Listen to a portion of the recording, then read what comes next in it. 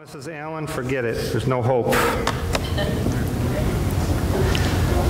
Everybody stand one more time. We'll give Hannah dispensation. Can we get the kneeling things? Three hours. so swollen right now. We give her the blessing. Take it easy, right? Well, Father God, I just thank you for this wonderful Resurrection Sunday. Father God, we just come before you ready to hear your word. Father, let the, the seed be planted deep in our heart. Let it be an encouragement and reminder to us today. Let something click in our minds and let us be encouraged in what you did for us at the cross. Let us walk out of here changed, even if just a little bit today encouraged and built up in our inner man. In Jesus' name we pray. Amen. It's a, a, actually a quite simple message. I'm not, I can't do part two of the eschatology because today's Easter, so I forgot last week that it was Easter. I know you're all disappointed, but Joanne had asked for me to preach something about the cross today because she said she doesn't understand it all. So, um, so what we're going to do That's right, yeah. So what, what we're going to do is, now, to talk about the cross, there is so much that God did at the cross and was accomplished. You literally could have a year's worth of messages to talk about every single thing that was accomplished at the cross, but I just want to take, I just felt led to take a little snapshot of one portion. And uh, I want to just thank uh, Joanne for reminding me of this part this week. And so, oh, I, I also want to thank our DJs. Let's give a clap for Billy and Clint. There's a groupie over there. Yeah, and they got a groupie, but that's okay. That's what happens.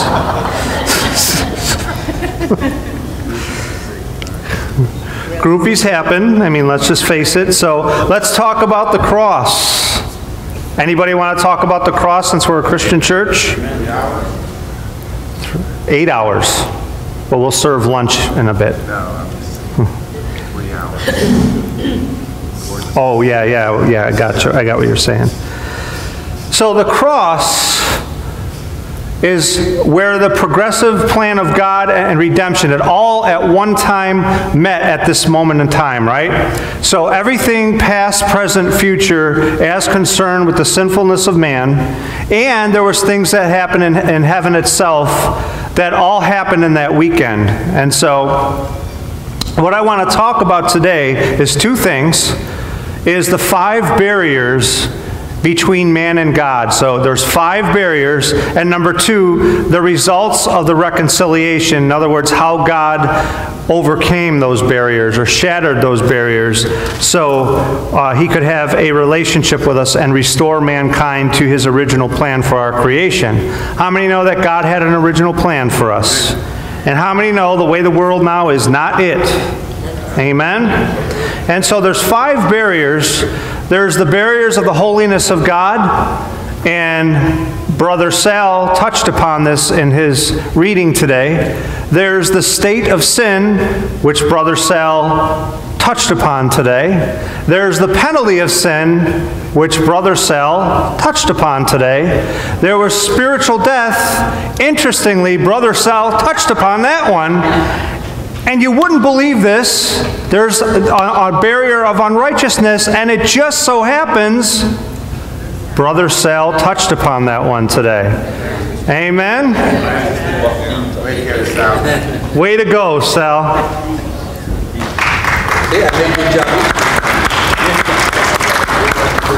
The only competition I have is John is dressed really nice today.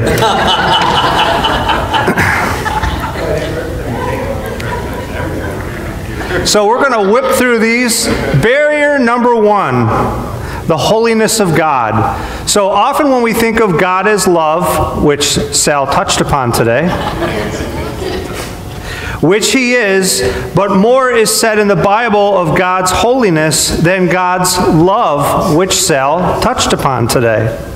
In fact, Isaiah 57 15 even declares that his name is holy. In Isaiah 6 3, the holy cherubim continuously proclaim the holiness of God. And after seeing this in the vision of God's absolute holiness given to the prophet Isaiah, he cried out, Woe is me, for I am ruined because I am a man of unclean lips, and I live amongst a people of unclean lips. For my eyes have seen the King, the Lord of hosts. So, Isaiah, when he got into the presence of God, what happened? He had a conviction of his unrighteousness. God hadn't said a word to him. Did God say you're a bad man? It was a natural conviction that he had as soon as he got into the presence of the, the 100% holiness. Amen? And so John wrote this God is light, and in him is no darkness at all. So we understand that light and dark mean is talking about our moral uh, attributes there. Light is goodness and righteousness and holiness, and darkness is evil and sin and selfishness and all the bad stuff. So Abraham confessed God as judge of all the earth who had to act in accordance with his holy justice. And in 2 Timothy 4:8, Paul called God the righteous judge. These and many other passages point to the perfect holiness of God and stress the fact that God cannot and will not act contrary to his holy character, as Brother Sal told us this morning. If he is without injustice and completely righteous in all that he, he is and does, how can man have fellowship with perfect holiness as we are sinful? Right? So there's two branches of God's holinesses. There's perfect righteousness and perfect justice, which Brother Sal talked about today. God is absolute righteousness and perfection. It is impossible for God to do anything wrong or to have fellowship with anything less than his perfect righteousness. Since God is also perfectly just, he acts in accordance with his perfect righteousness. He cannot be partial or unfair to any creature he must deal with. The creature is perfect in perfect justice. So that this means all that is unrighteous or sinful must be judged and separated from him. And I think Satan knew this when he caused man to fall in the garden. One of the things Satan tried to do is, is when he get man when he got man to fall, he knew that the righteousness of God and the justice of God would have to act against mankind, and he tried to get God to kill us all. Everyone see that? And so it's interesting that God, God had outsmarted them. There's a lot of scriptures there you can go back and, and look up, but we're going to move forward to barrier number two the state of sin. Right? The book of Galatians teaches us that man is shut up. What does it mean, shut up? It's not what you, what you tell your neighbor when they're really loud or talking bad about you. It means we're locked out or shut out from God. There's actually the barrier there. That's a barrier. Because man is under the eight ball of sin. Romans 3:23 declares that all have sinned and fallen short or missed the mark of the glory of God, which is his holy character. Even JD has, believe it or not.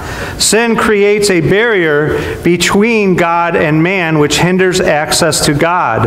And the barrier of sin is one of the reasons why God in his sovereign love gave his son to die on the cross for man's sin which Brother Sal talked about today.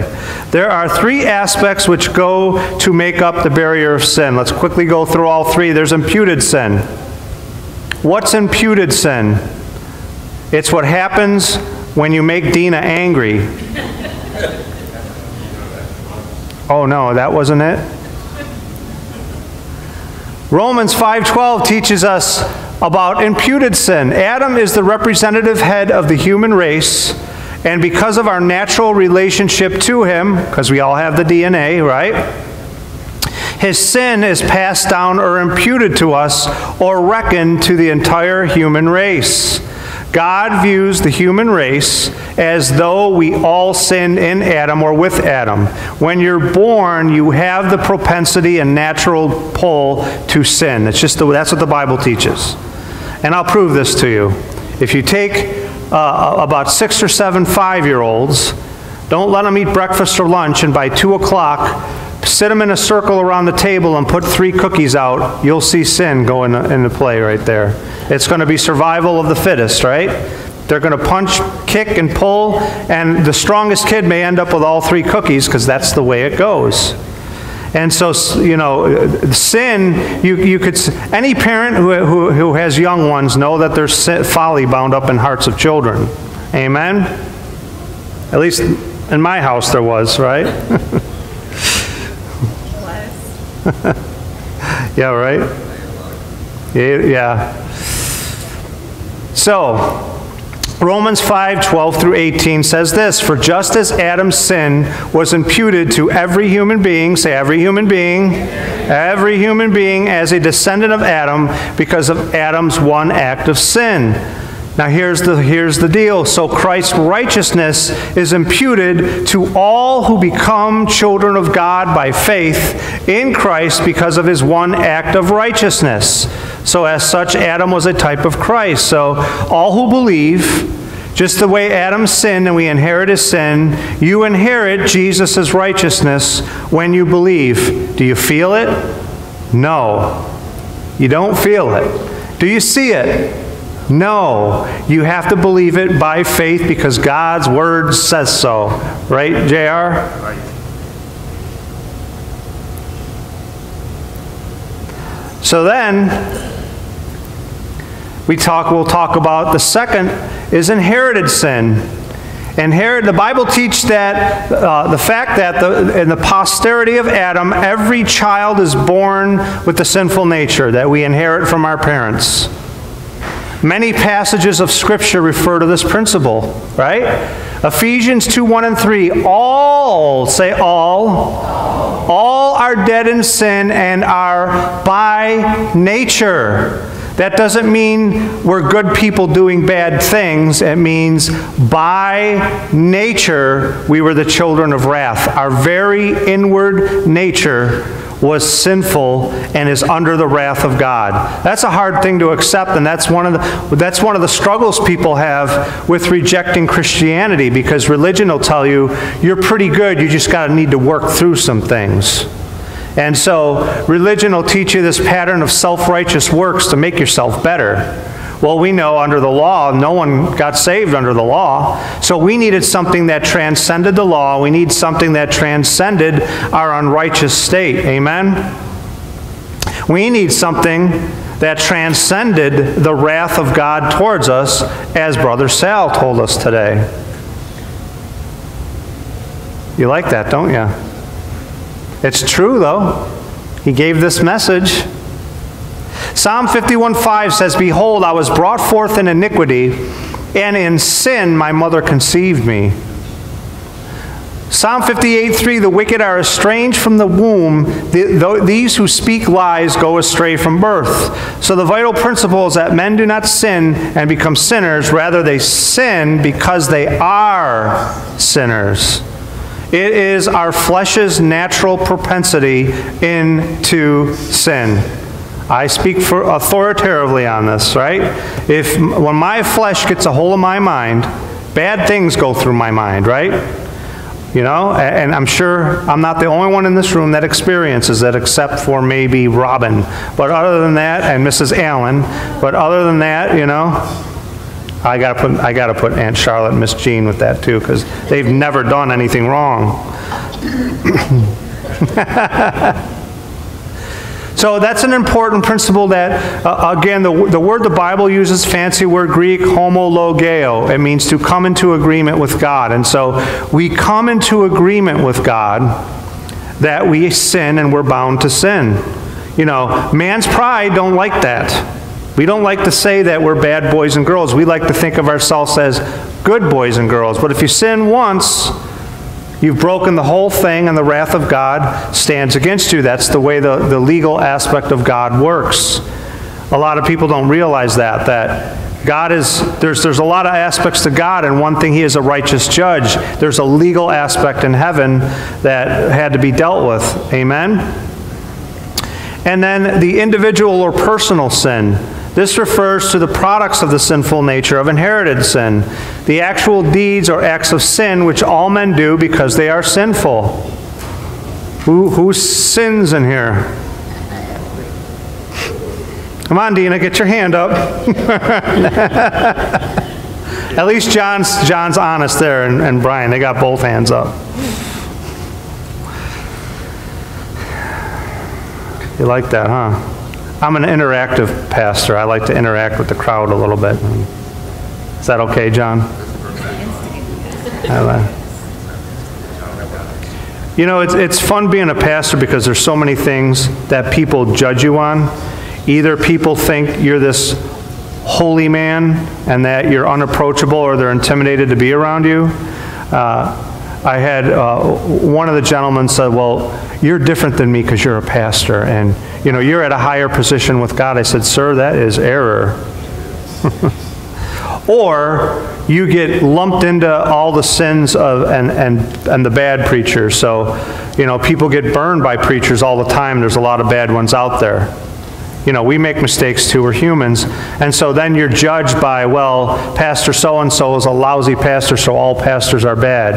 And so when I'm out working my job and I'm out in the world working, I don't tell people I'm a pastor because I just don't want that whole thing to come in between uh, you know, there's a few people I do as the Lord opens it, but it, it's in no means am I ashamed, but I just don't want it to ruin the relationship. And in this day and age, people are like, oh, you're too holy or you're a jerk because, you know, Pastor so-and-so on TV ripped people off. So you're probably trying to rip people off.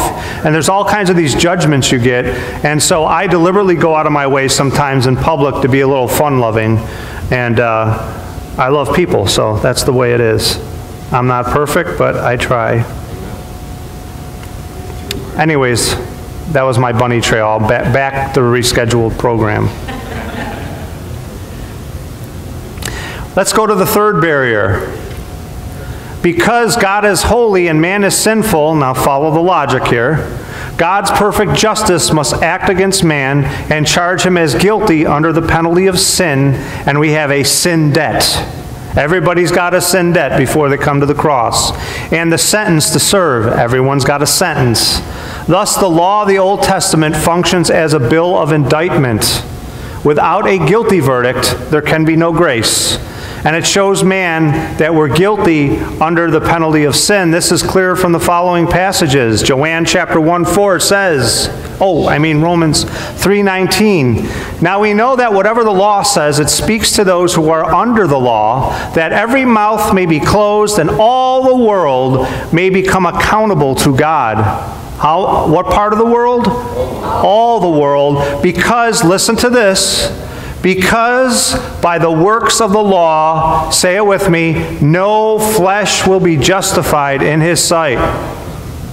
You hear that? Your Ten Commandment keeping is not going to save you. It's funny, like Christians preach, a lot of these ministries really pontificate the Ten Commandments. Did you know that, uh, uh, let's talk about the Sabbath real quick. Which day is the Sabbath? Saturday. Saturday. What's the rule of the Sabbath? Keep it holy.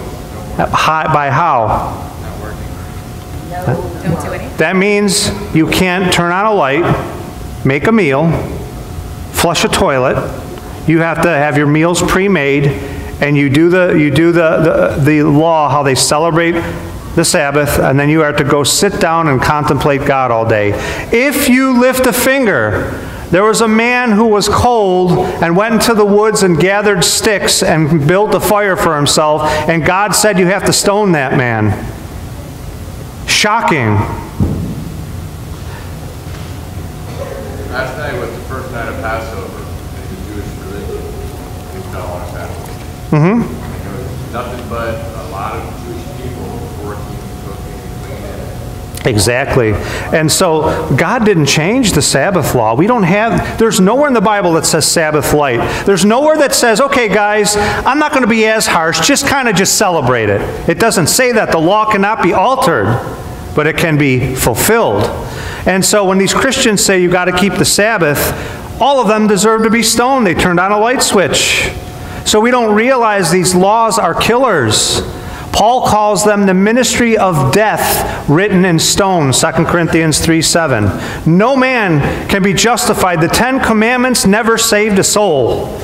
And then they say, well, after you're saved, then you keep the Ten Commandments. You go, you're back in circular logic. Then the Sabbath, you can't work. Right? And, and, and coveting, Paul said in Romans 7 that the, the covetousness would come out of him and it would kill him every time he read the commandment. He says, Oh, look, I don't want to covet. And then I would read the commandment and I would start to covet. And he was in a circle. It's a, it's a wheel of death, I call it. It's the hamster wheel. It's to teach you to one conclusion you can't earn salvation. Amen? And so let's move on. Galatians 3:19. Why the law then? It was added because of transgressions. The law would have never came if there was no sin. Having been ordained through angels by the agency of a mediator until the seed should come to whom the promise has been made. Who's the seed? That's right. Galatians 3:22 but the scripture has shut up all men under sin by the promise by faith in Jesus Christ might be given to those who all right, Colossians 2:14, having canceled out the certificate of debt consisting of decrees against us, the Old Testament law, and which was hostile to us, he has taken it out of the way, having it nailed to the cross. Where was the law nailed? In Jesus' body. The, his body was literally the veil, and the veil was rent, and the blood was effectual in cleansing us from sin. It was the only sacrifice that could work. The certificate of debt, right, refers to his law and its indictment, which is death. We have a debt to pay. But the thing which must be understood is that the debt was so great that man himself cannot pay it by religion, good deeds, or morality. You can't be a good person. There's no such thing. Because if you sin once in your life, even the cute old lady who, uh, who uh, makes her, what do you call it, or sews her little things, I've heard them very ladies cuss people out, so you got to watch them. Right? We're all in prison to sin and we can't be we can't be good enough. The very best that a man can come up with or falls short of the glory of God. Man is dead, incapacitated to or in his sinful condition, which Brother Sal told us today. As further byproduct, of these three parts of the barrier, there's two others that will automatically occur because of these and compound the problem. And it's not that Larry Peabody's not home today, but it's close. He should be home. I'm mad about that.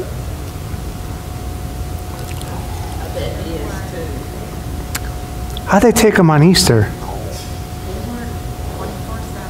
Man.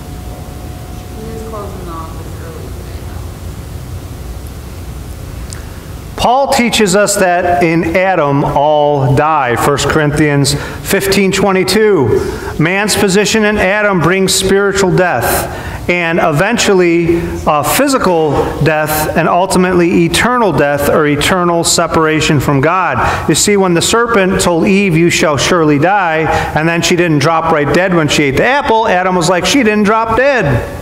I guess God was telling a fib, but he didn't realize the death wasn't necessarily right now, it was a slow death.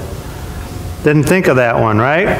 Romans 6:23 tells us the wages of sin is death. Romans 5:12 Therefore just as through one man sin entered the world and death through sin and so death spread to all men because all sin. It's the awesome consequence of sin. The point is, is that death, whether physical or spiritual, is a product of man's position in Adam and his own personal sin. I'm going to be talking more about this next week when we go back to our eschatology. We're going to do a little study of Romans chapter 8, which all about is, is the flip side of this, how Christ undid it all. So this means that man in himself is without spiritual life and spiritual capacity. Now, if that is true, now let's assume that that's true, right? As believers, we believe that it's true. Imagine all the, the religions of the world, man's self-effort. Because all religions have one thing in common. It's the do to become system. You got to do the five tenets of Islam to get saved. You got to do the meditations in Buddhism to try to reincarnate yourself to a better place and work your way over thousands of years to nirvana. And then you have Hindu, which they got to do the sacrifices to all the various idols. It's all due to become. This one sticks out like a sore thumb Because Christ is the opposite of that. It's a believe and you are. He did it all, right? And so think about this. All those people in other religions are starting out from a place of unrighteousness, and they're all under the penalty of sin, and they're trying to work their way out of it, but they can't. So every religion is, is coming to a dead end. You got to do it over and over and over. You never get to a place where you're righteous. You know, I'll take, for instance, and um, like in Islam, why, do, why does in strict Islam or fundamental Islam do women have to wear burqas? What is the reason? Can anyone tell me why women have to wear burqas? So they don't arouse, arouse the men. So they don't arouse the men. Think about that for a second. So because men can't control themselves, women have to live in a literal tent and sweat to death all the time in 110 degrees because men can't control themselves. If they took their burqas off, the men couldn't control themselves. So is the sin problem stopped? It's not solved by the flesh, it's powerless. Paul tells us in Colossians all those rules and regulations are powerless to bring about God's righteousness. Can't do it.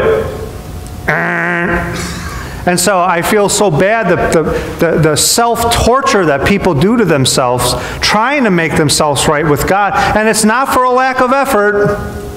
It's not for a lack of effort. You know, I knew one guy from college that got into uh, Tibetan Buddhism, and he would sit there and do the chakras for six hours a day. And he never got any better in his life. Still was sleeping with women, left and right, and all this stuff. And I'm like, not working out too well, is it? Hasn't changed the sin nature. Still did selfish things. Still would cuss you out. Oh, but I got to go do the chakra now and get it off. And then right back to the same dead end because it doesn't change. Now, Christianity, as you walk it out, should bear the fruit of change. Guess what? When I got saved, I stopped doing drugs. I stopped fornicating. I stopped boozing myself. I stopped carousing and partying, and I started bearing the fruits of the Holy Spirit. And I started being a, a decent person. I slowly stopped being selfish and started being selfless over time. And I'm over time, I'm changing from the inside out. Not because I'm following rules, is because I'm cultivating uh, and co-laboring with the Holy Spirit that was given to me as my internal ability to be righteous. Amen?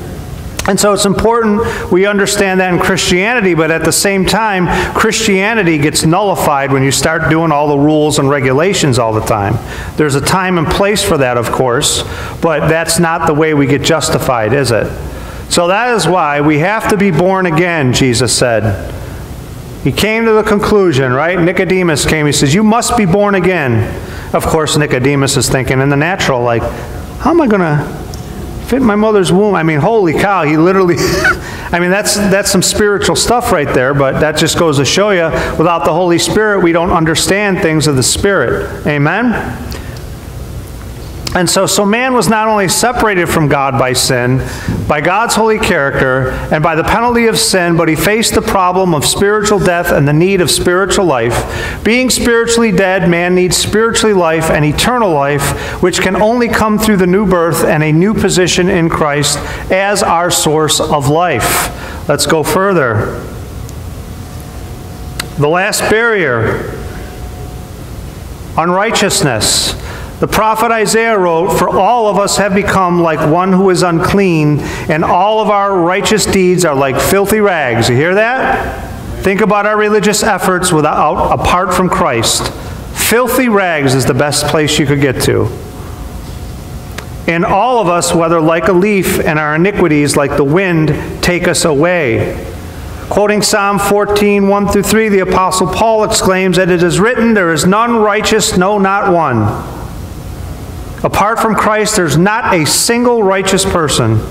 Amen? In order for people to have a fellowship with God, they must have a standing, a righteousness equal with God. Because of their condition, dead in sin, they can never establish a righteous uh, a righteousness sufficient to pass the righteous judgment of God. Amen. We talked about the error of typical religion or religious people. I try not to be religious. You have to be very careful because it's easy to become religious. That's why I try to keep it real in here because it's very easy to slip into the whole cultural Christianity. Uh, I call it Christian rules and principles, CRAP. Use it, to figure out the acronym yourself. That one. Christian rules and principles. Are there principles we should live by? Absolutely. Is there rules? I would say there is, but we don't justify ourselves by them. They're goals that we attain through our progressive sanctification. And you're not going to have it together all at once. You start here, and God very well will take you as where you're at, and you grow over time as you walk by the Spirit. You take one step, he'll take the other. You take the next step, he takes the other. And you grow, sometimes slow, but you grow. Unlike Mrs. Peabody, she just got it all together at once. I can't figure out how she did it, but she did. So, let's move on. The solution is God's work of grace in the person of the Lord Jesus Christ. This work of grace is called reconciliation. Everyone say reconciliation. Here's the cause of it. Jesus Christ uh, in 2 Corinthians 5:21 says God says he made him to be sin for us that we might be made the How many know that you have a perfect righteous position spiritually? It may not be fully manifest in your outward behavior, but this is something you have to believe. You don't see this. People, I know a lot of people, and I struggled with this for years because when I screw up, the devil condemns you, right? Anyone ever had that happen? Right? And so you get condemned in something, and then you get pulled away, and you get condemned, and you get pulled away, and then you get mad, and all kinds of this other stuff, and the devil's whispering in your ear, you know, you're lousy, and then sometimes you get mad, well, you're not like them Christians. Or they're, they're just know it alls, right? And so all kinds of things happen to you. But the truth is, you have to believe to your inner man with everything that you have. This is one of the most important things to believe that I am the righteousness of God in Christ. That is a positional bedrock truth. Until you're established in that, you'll never get to second base in your Christian walk. You have to understand that you have his positional righteousness. Amen? Despite despite outward manifestations of sin that still come out of you. You have that positionally. It's unshakable. It's, it, you didn't do it, God did it. Remember, the new covenant is also between Jesus and the Father. He's the keeper of the covenant. It was, it was the Father gave him that covenant, and then he gives it to us. Amen? So the results of reconciliation are threefold. We're going to close with this the removal of the barrier, positional sanctification, and justification. These are, now remember, there's about 200 things that happen at the cross, but we're just kind of skimming across one area of, of importance. So, number one, the removal of the barrier the penalty of sin, spiritual death, everything we talked about there. For he himself, this is for the believer now, he himself is our peace, having made both groups into one and broke down the barrier of the dividing wall by abolishing in his flesh the enmity. What's an enmity? What's that? No, not quite. An enemy. Who said that? Narish, you're the winner. It's an enemy or something that stands against you. Here's the shocking truth. What was the enemy that stood against us here? The law. Look, by abolishing in his flesh the enmity, which is the law of commandments contained in ordinances, so that in himself he might make the two into one new man, thus establishing peace, and might reconcile them both in one body to God through the cross, by having it put to death the. What's the enmity? The law. The law. The law stood against us. Why? Because it was a guilty verdict. Says, yes, ma'am. Enmity also means opposition, and hatred. So when you think of it that way, it's, it's more than just, you know, the enemy. It's that, that power, that emotion, you know, those forces that are behind it. Very good. See, my, my wife is very smart. She doesn't talk a lot, but when she does, she drops truth bombs. I just get out of the way from the repercussions. He's learning. Many beatings.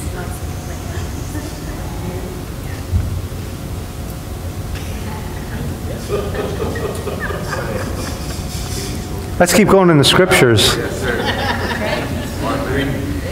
And he came to preach pre- peace to you who are far away and peace to those who are near. For through him we have both we have our access in one spirit to the Father. So the law that gave us our guilty verdict had to be fulfilled, completed, and taken away. And the propitiation, which Brother Sal talked about today, God took our sin. Amen? And it results in number two, positional sanctification and perfect standing. Now remember, there's two aspects of your sanctification there's your position and there's experiential. Your experiential, you walk out, you grow into. It's called spiritual maturity. But by position, it's, it's perfect. And I'll, and I'll show you Romans 5 1. Therefore, and when we see therefore, having been, say been, that's past tense, right? Having been justified by faith, we have, through our through whom also we have obtained, we have obtained, say, I have obtained. This is 100% you have obtained. Our introduction by faith into this grace in which you now stand. You don't stand on the law. Romans 6:14 as Paul goes on, we are no longer under the law, we are under grace. And we exult in the hope of the glory of God. 2 Corinthians 5:1. Therefore, if anyone is in Christ, he is a new creature. The old things have passed, and behold, the new things have come. And finally, number three, justification. That means just as if you never sinned, you've been declared righteous before God, and now you're, you're able and blessed to hang out with Brent Peabody. Through Christ's righteousness imputed to us, 2 Corinthians 5 18 through 21 says this. Now, all these things are from God, who reconciled to himself through Christ and gave us the ministry of, namely, that God was in Christ reconciling the world to himself, not counting their trespasses against them, and he has committed to us the word of reconciliation. Now, when it says God was in Christ, that's talking about, it's not so much his locality, but he's talking about the plan. Like, in other words, it's saying God's plan, which came about in Christ, right? Or Christ was his plan to accomplish this, because people will be like, well, Jesus wasn't God because God said he had to be in him right there in uh, 2 Corinthians 5 uh, 19. And no, it's talking about the plan there. Amen? So If you understand, you understand the fact that Christ gave up all that he had and all that he was, God would have had to have been in him for him to walk out what he needed to walk out. Because he gave it all up, he left it Yep. behind to come here as a man. Mhm. He humbled himself that way. God needed to be with him in order for him to walk it out. That's right. So finally, we'll end with this slide. The results. And this ends after you're saved, after you're justified, after you're sanctified, you now have a calling. What is our calling? To be ministers of reconciliation. The ministers of reconciliation is only the pastor. It's only the evangelist. It's only Brian and Laura. It's only Joanne. It's all believe. Everybody put your hand in here. You're all ministers of reconciliation. Every believer is an ambassador of Christ and a minister of reconciliation. Since Christ died for us, we are each obligated to live not for ourselves, but for the Lord and to be his representatives in a world that is alienated from God. Amen? Some good encouragement. Some how many know we have to remind ourselves of these things? I preach myself the gospel a lot. Sometimes I like I got to remember I'm justified. Amen? Got to remember I'm sanctified. Amen? When you're having a tough day, I said, you know, I have hope. I can get through this. And you have to remind yourself. Paul says, teach and remind them of these things. And so a lot of times, I know theology can get really deep and expansive, and I love that stuff, but there's a certain thing where you just got to keep reteaching it, reminding, rereading, talk about it over and over. Because how many know it takes a lot to get into your thick skin? Some of us harder than others. I had to fall off the bike maybe three, four times.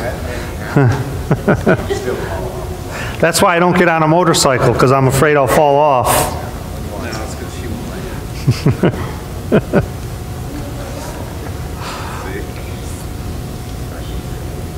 I'm not as skilled as, as JR and Neil in that department. Each, each has his own gift, right? Any questions or comments as we close? Anything, Mrs. Allen? You have a scripture you want to share or anything? No? Anything, Wilbur? Do you have a song you want to close with? Because, of course, the DJ has to have the last word. How many know the DJ always has the last word? Amen?